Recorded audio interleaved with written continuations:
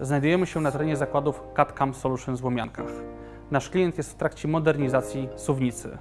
Po zakończeniu prac ma ona zwiększyć swoją nośność ponad dwukrotnie.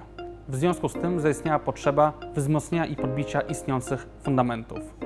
Klient zgłosił się do nas, ponieważ potrzebował rozwiązania, dzięki któremu będzie w stanie zrobić to szybko, pewnie i precyzyjnie. Dzięki naszej technologii iniekcji geopolimerowych jesteśmy w stanie związać i wzmocnić grunt w szybkim tempie. Stosowany przez nas geopolimer osiąga swoją pełną wytrzymałość w czasie 15 minut.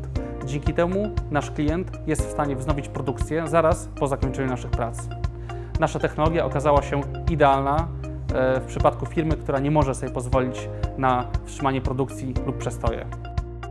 Firmę Jobber wybraliśmy dlatego, ponieważ zaproponowałem nam najbardziej innowacyjne rozwiązanie w wzmocnieniu podtorza naszej suwnicy. Dzięki temu nie musimy przerywać naszego cyklu produkcyjnego wykonania narzędzi. Wykonujemy narzędzia dla takich firm jak Audi, BMW, Volkswagen nie możemy sobie pozwolić na żadne poślizgi czasowe.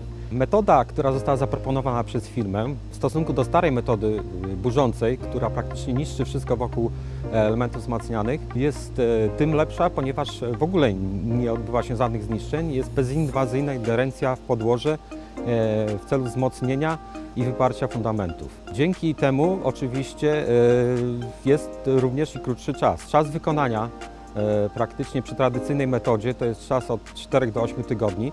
Tutaj robimy to w 4 dni.